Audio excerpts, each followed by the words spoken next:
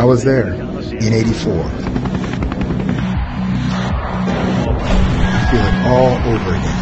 The passion on the track, in your streets, and right before your eyes. I feel the entire planet is like an Olympic stadium, sharing the passion. Panasonic Ideas for Life.